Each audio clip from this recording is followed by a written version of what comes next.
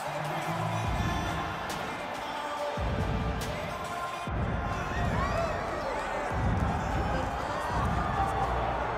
right, so here's the budding UFC welterweight contender out of Philadelphia, Pennsylvania, Sean Brickhouse Brady.